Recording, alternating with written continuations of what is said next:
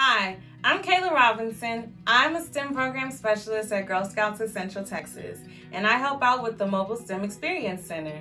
That means I get to help transport fun and high quality STEM programming to girls and troops everywhere around my council. Today we're going to take on a design challenge from the Cadette Think Like an Engineer journey. At the end of this video, you'll know how engineers solve problems and you'll engineer a life vest that helps a dog to float.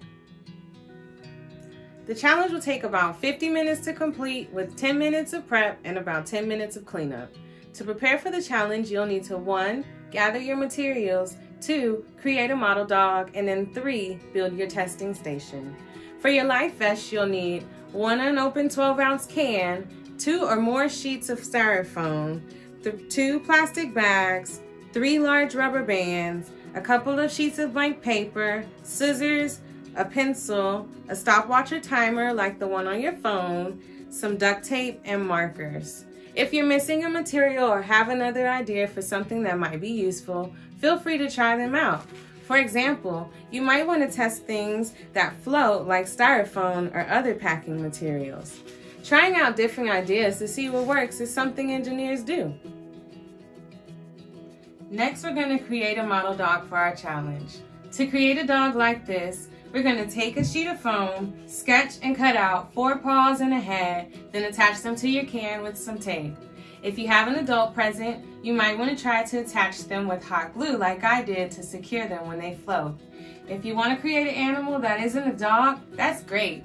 Feel free to use the foam sheet to create and cut out any type of animal that you'd like. Finally, we need to create a testing station. Fill your tub or large plastic container up with water. If you use a separate container, place it in the area of the room that can get wet.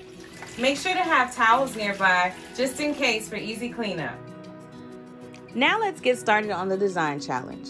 You've been hired by a family who has a corgi named Chloe. Corgis have a hard time swimming because of their short legs.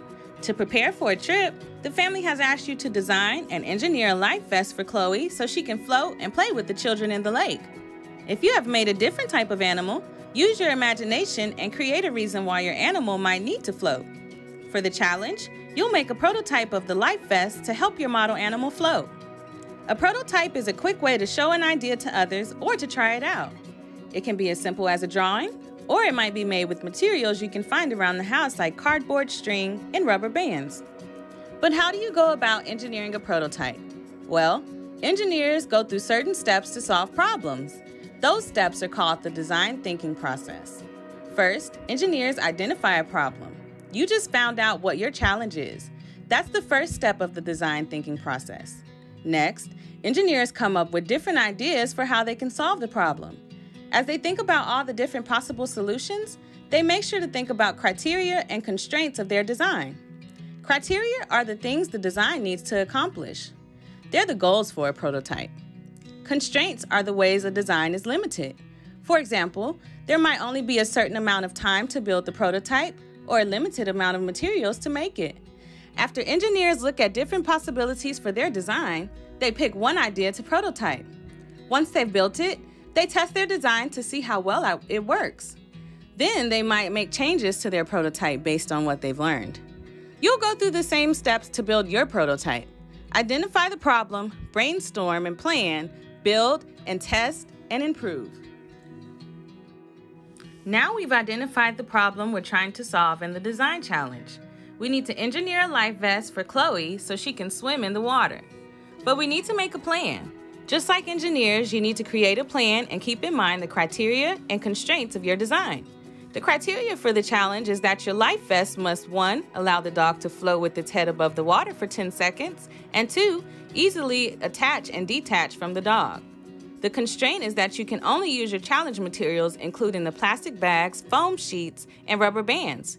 If you also gathered other materials to use, like styrofoam, feel free to try them out. So spend a few minutes brainstorming the ideas of your life vest. Sketch your ideas on sheets of scratch paper. Don't be afraid to try out features both possible and impossible.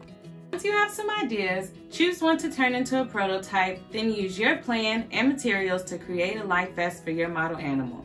As you build, feel free to try lots of different ideas to see what works and what doesn't work. Remember, the goal is to try to think like an engineer, not to create a perfect vest.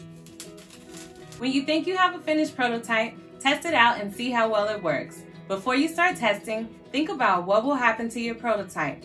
Will Chloe be able to float? Will the model sink? Take a guess. And find out if you were right. Test the prototype by placing the life vest on the model dog as quickly as possible. Place the dog into the water to see whether or not its head can stay afloat in the tub of water for at least 10 seconds.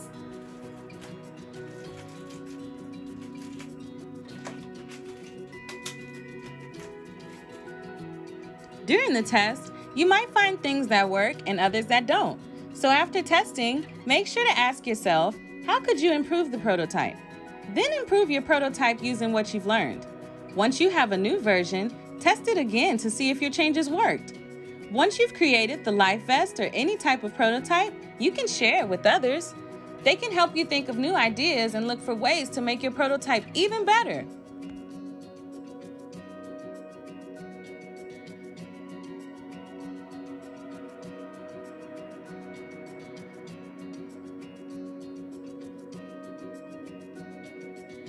After the design challenge, it's a good idea to think about what you've learned, what you liked or didn't like, and what you might want to do next.